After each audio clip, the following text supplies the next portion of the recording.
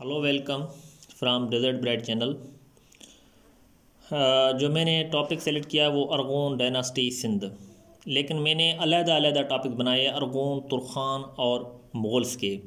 ज़्यादा बुक्स जो है वो अरगोन, तुरखान और मुग़ल्स को साथ ही लिख देते हैं डायनास्टी के हिसाब से। तो ये इसलिए कि इसमें कुछ जो अहम पॉइंट्स जो एक सेपरेट करके लिखिए जो आपको बहुत फ़ायदा मिलेगा। लेकिन ये एक बात मैं बताता चलूँ, आप इस चैनल को सब्सक्राइब करें और फॉरवर्ड भी करें ताकि जो आपको लेटेस्ट वीडियो आप तक पहुँचती रहे। आरोन डायनास्टी जो है वो 1520 में स्टार्ट हुई और पंद्रह तक चली।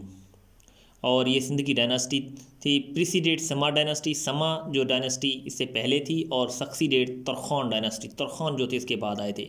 इस डायनास्टी का जो कैपिटल था वो बखर था और पहला जो इसका जो लीडर हुआ Shah Beg Arghun first ruler as he defeated Jam Feroz. Jam Feroz को जो है इसने शिकस्त दी, जो समा डायनास्टी का लास्ट रूलर था और शाह बेग अरगोन ने जो है सिंध के ऊपर जो हुकूमत करना शुरू की। और उस वक्त जो कॉमन लैंग्वेजेस थे और Arabic and Sindhi common language थे इलखान मंगोल्स खान डिसेंडेंट और ये जो अरगोन थे वो इलखान मंगोल्स के डिसेंडेंट थे। लेकिन आप याद रखें कि अरगोन जो थे वो लोकल लीडर्स नहीं थे।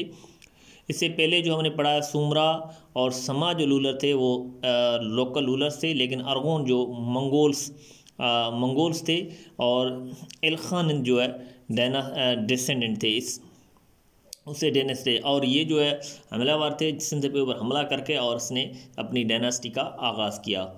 तो ये हुआ अरगोन डायनास्टी कब स्टार्ट हुई और उसके मेन मेन पॉइंट्स जो है, मैंने डिस्कस की।